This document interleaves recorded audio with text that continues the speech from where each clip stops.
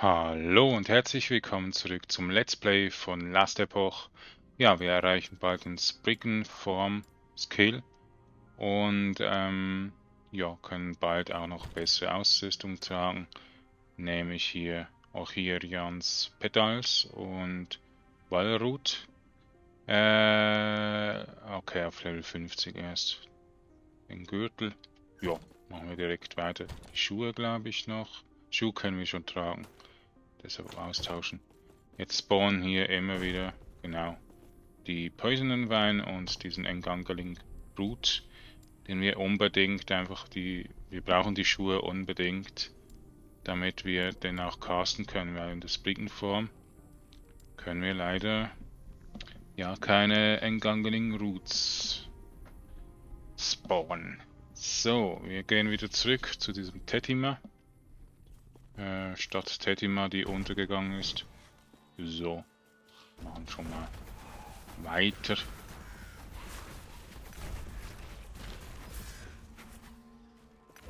Damit wir das auch erreichen. Spriggenform muss unser werden.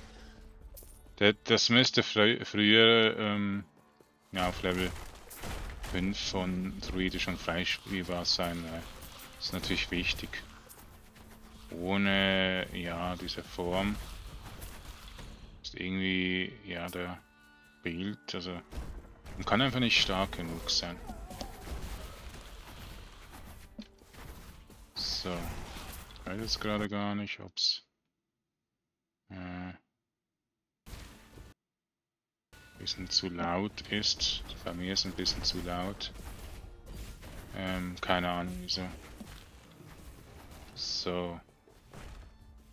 Okay, wir müssen hier durch, glaube ich. Auf jeden Fall lohnt sich besser, hier durchzugehen. So.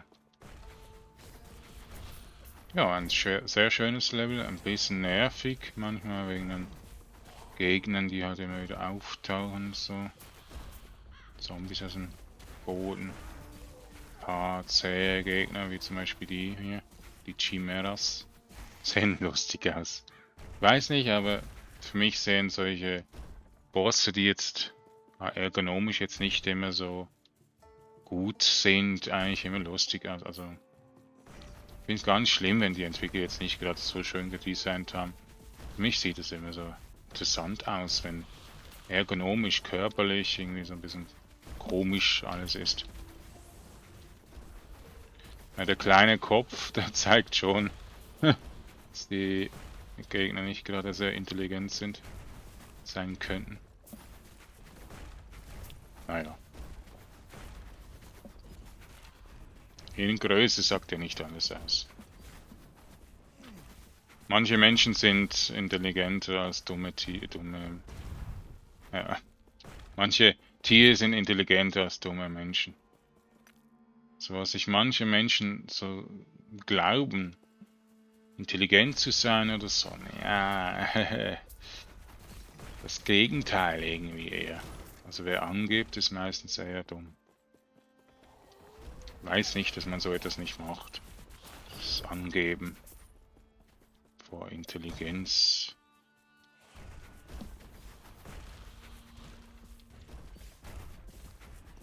Es gibt so ein Quiz äh, im ersten oder im zweiten CDF so drei Leute mega angeben.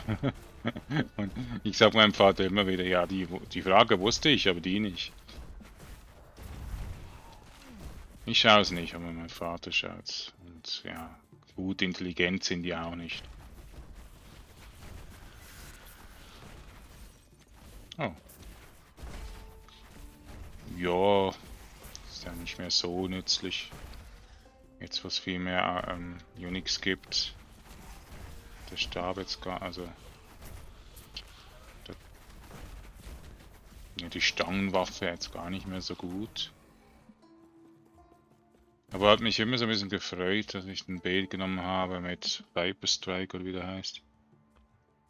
Serpent Strike, genau. Einzusetzen, auch die Minions und so. Richtig geil. Schade, ja, wird nicht mehr oft gespielt. Die Entwickler haben da ja, Serpent Strike eigentlich ein bisschen kaputt gemacht. Okay, aber vor dem Boss müssen wir noch kurz Briggenform freischauen. Weil der Boss recht stark ist vom Blitzschaden. Okay, haben wir schon. Relativ gute Verteidigung. Nekrotik ist gar nicht so schlimm. Aber die Blitze sind schlimm.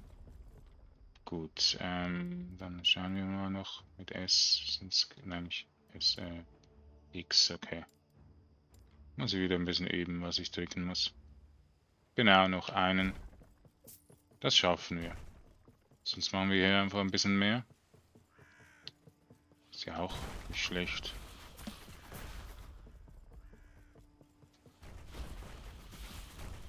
Aber wir leveln irgendwie sehr langsam. Die haben das wahrscheinlich schon extrem zurückgesetzt. Wie schnell man levelt in den Gebieten. Ja, ja. Wegen dem neuen Akt mussten sie ja alles ein bisschen runterfahren, stimmt. Okay. So, noch mehr Schaden, wenn wir Toten zuerst beschwören. Sehr gut, und die Juggernaut, oder Dreadnought, genau. Die imperiale Dreadnought. Ein wunderschönes Level designerisch. Die Gegner sind auch ziemlich gut, oder ein paar zäh. Diese Schildkröten, die langsam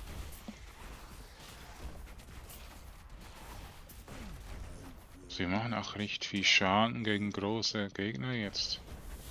Jetzt müssen wir Spriggen Form. Da sind die Schildkröten.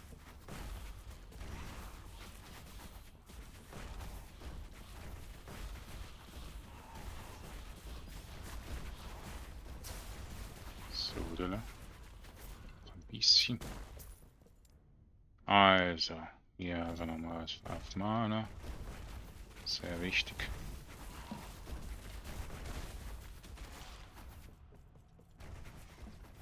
Schildkrötenalarm. Also dieser Dodge-Angriff, der macht schon echt viel Schaden. Den haben wir ja gar nicht, oder? Ich kenne jetzt keinen B, der so einen auch hat. Okay.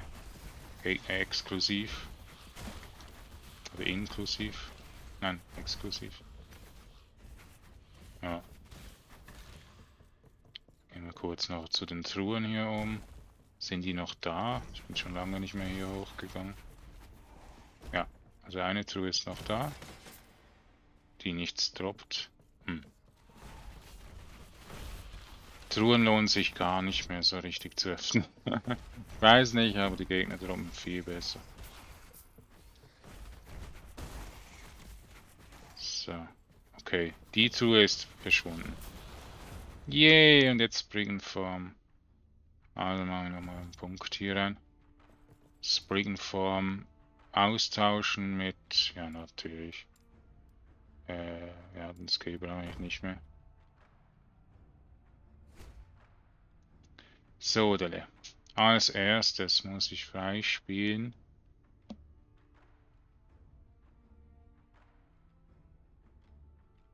Healing Totem. Ja, da brauchen wir zwei Angriffe. Ich tue jetzt mal einen Skill hier hin und einen hier hin. Ja.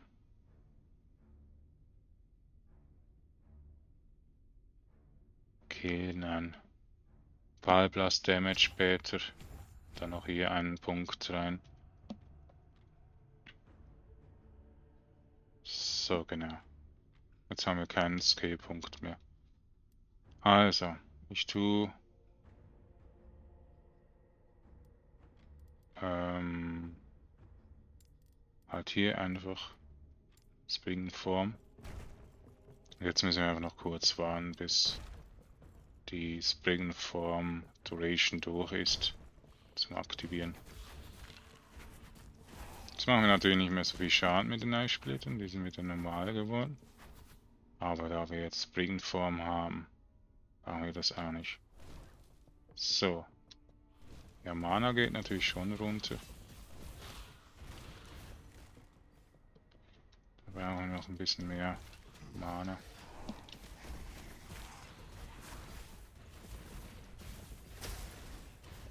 Okay, nicht schlecht, also Schaden funktioniert eigentlich. Aber das Mana funktioniert noch nicht. Jetzt verlieren wir die Brickenform wieder. Aber die Dinge sind, die Dinge bleiben. Oh ja, die bleiben. Krass. So noch ein bisschen Dauer. Dann wieder aktivieren. Okay, sonst müssen wir doch den Eissplitter wieder skillen. Hier können wir aber Eissplitter eigentlich so skillen, dass wir ähm, hm. Die, den brauchen wir, den brauchen wir, den brauchen wir, wenn wir Level 35 erreichen. Dass wir überhaupt Schaden machen. Also den Trailstring macht... Er beschwört gar nichts mehr. Ah, das ist Seven Strike ist der Gürtel. Genau, stimmt. Okay. Ja, easy. Also, ja, können wir auch gebrauchen. Wir müssen noch drei Level, glaube ich. Vier Level. Ähm, ja. Aufwenden, ja.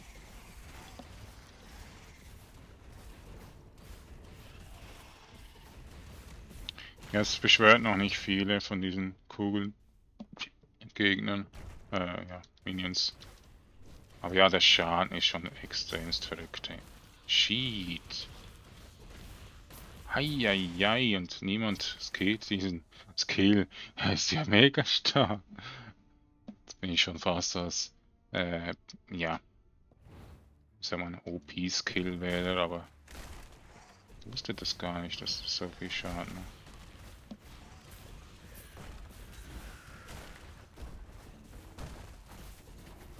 Heftigst.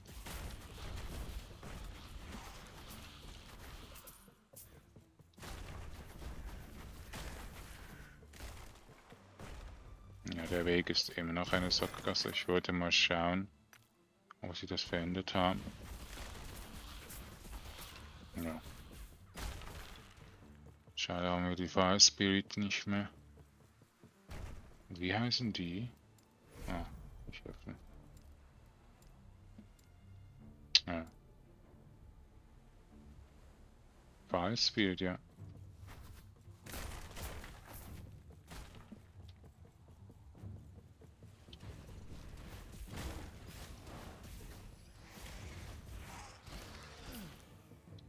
Ja, sehr interessantes Spiel.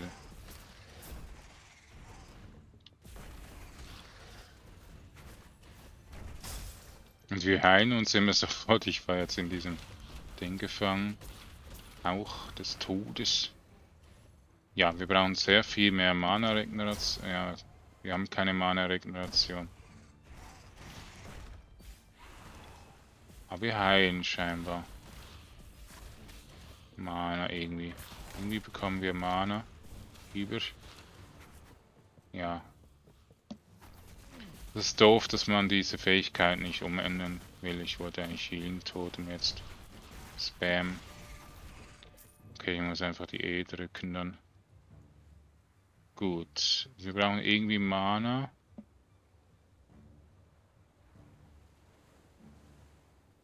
Okay, das ist der Blitz gewesen. Ich dachte schon, ich werde angegriffen. Also man bekommt halt nicht so viel Mana. Was auch interessant wäre, ist das.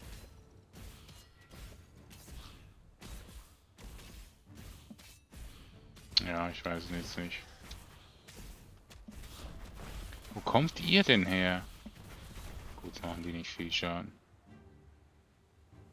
Uff, muss mir das noch ein bisschen verinnerlichen. Also was ich machen könnte, ist hier mal rüber zu skillen. Muss da einfach wieder zurück. Ich, ich mache das mal nicht, das ist fast Cheating. Also Great Wine ist so unglaublich stark. Das ist fast Cheating, die machen so 2.000, 3.000 Schaden, denke ich mal.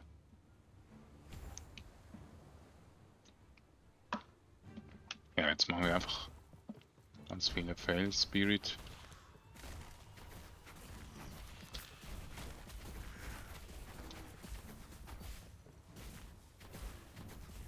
Jetzt will ich extra kurz warten mit dem Spirit Farm Zeug.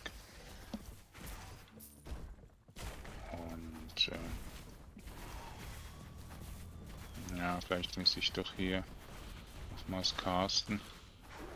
Dauert scheinbar nochmal einige Zeit. Gut, jetzt kann ich dann gleich.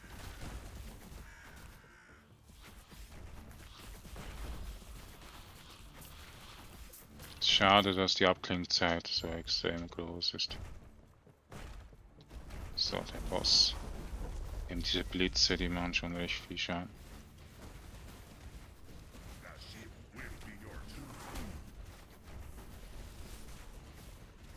Also wir haben die da.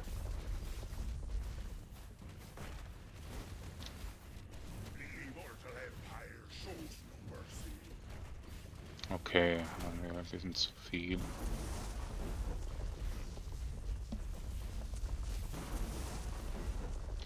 Ja, Zeit leider nicht.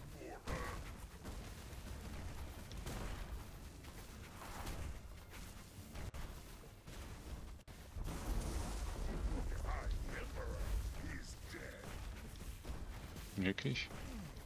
Die ganze Zeit. Das Kill. Spam. Und jetzt, wenn wir Mana-Nöten haben, setzen wir diesen Skill ein. Oh, der Schaden. Schaut euch das mal an, wie der schnell runtergeht.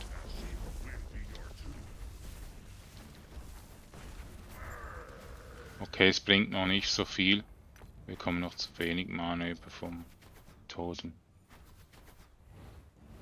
Naja. Oh, cool sieht er schon aus. ich bin Groot. Ich bin Grooter. Ich habe einen Stein in der Hand. Oh.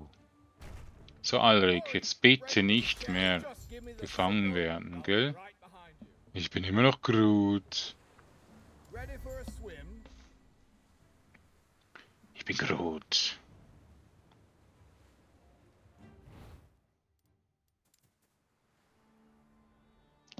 So, schönste Home Summon Helling Totem wenn Hit.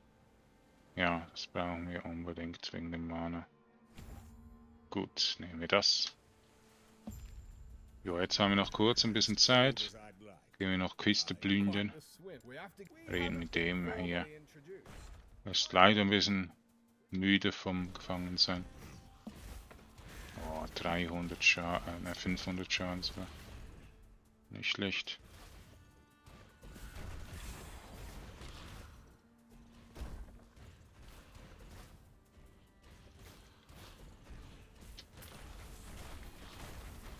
Genau. Wir bekommen jetzt Mana hinzu. Ja, haben leider zu viel Mana verbraucht, sind wir in der normalen Form.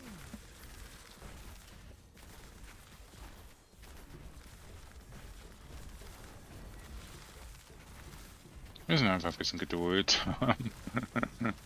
das ist noch nicht so praktisch. Nochmal so eine blöde Kröte. Äh. Skorpion. Ist ja fast eine Kröte. Ist nur ganz, ganz anders. Ein Gliederfüßer natürlich. Eine Kröte ist eine Amphibie. Wusstet ihr das? Mal ernst. Wusstet ihr, dass es ein Gliederfüßer ist und kein Insekt? Was hat, was haben eigentlich Gliederfüßer mit Insekten so gemein? Oder Krabben sind ja auch Gliederfüßer. Was haben die mit Insekten gemein? Nichts. Gar nichts. Das sind eher Fische. Aber Gliederfüße sind die, die nur Glieder als Füße haben, keine Füße. Also keine Zehen. Oder ähm, dass die Füße so Glieder sind, also nicht ganz verbunden sind. Ich glaube, das ist der Grund. Wir sagen Gliederfüße und Gliederfüße. Genau hier sind diese Winged Carrions. Die sind mega stark.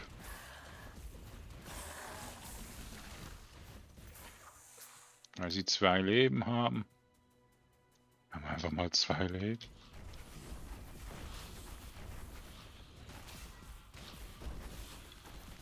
Ja, wieso geht das manchmal nicht? Also ja, die Chance ist halt zu kriegen. dass wir Mana bekommen. Ja, lohnt sich noch nicht. Wir müssen höher leveln. So. Aua. War noch ein bisschen drin. Wollte ich eigentlich nicht sein.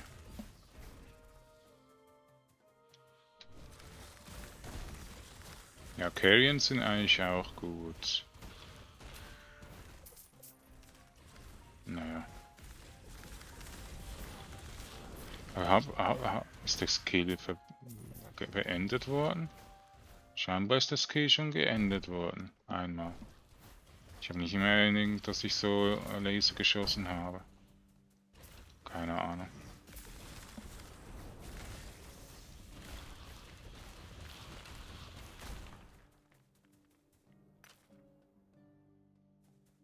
Ja. Aber es spielt sich sehr spaßig. Auch wenn wir die ganze Zeit wieder weg sind vom... Ich mich zurückge... Ding, ähm... Ja, es ist nur 4%. Aber Minion Health ist halt auch wichtig. Gut, und dann einfach mehr auf Damage gehen. So, können noch zum nächsten Waypoint kurz gehen. Ah, es ist Zielsuchen, sehr gut. Das ist auch praktisch, zielsuchende Angriffe.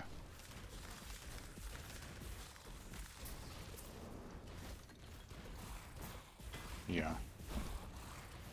Sehr Einzelangriff, aber dafür ein starker, sehr starker Einzelangriff. War mit den Rüstungen dann. Ja, sehr stark. Unglaubliche. Ja, ist natürlich praktisch. Jetzt haben wir noch drei.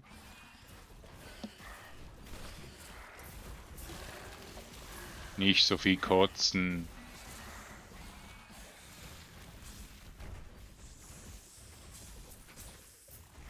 Ich habe jetzt extra noch die Form gelassen. Durfte aber nicht mehr angreifen. Dann habe ich sie einfach beendet. Dass der doofe Gegner weg war. Ja, noch die Schlange von ihm übrig ist. Ja, ziemlich komischer Gegner. 500 Schaden pro Schuss. Also ich muss einfach die Minion Damage noch ein bisschen höher treiben. Und er tut ja auch nicht sterben, das Briggen. Also, hm, der B könnte echt stark werden, hätte ich nie gedacht. Ich hatte gedacht, ja, so ganz normal. Ja. Aber, so besser. Was bin ich jetzt? 32, okay. Können wir im nächsten Part eigentlich dann direkt schon äh, Ding. Sag schon, äh, die hat die Unix tragen. Ich denke, wir nehmen sie schon mit. Lohnt sich doch mehr, wenn wir die gleich ausrüsten können. Ähm, genau. Spell Damage, Physical Damage. Hm.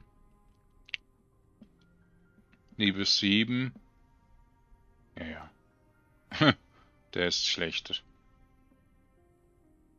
Aber wenn Hit äh, Hailing Noah ist einfach ein bisschen zu wenig prozentuell.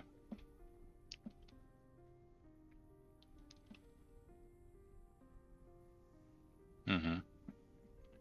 Gut, ähm.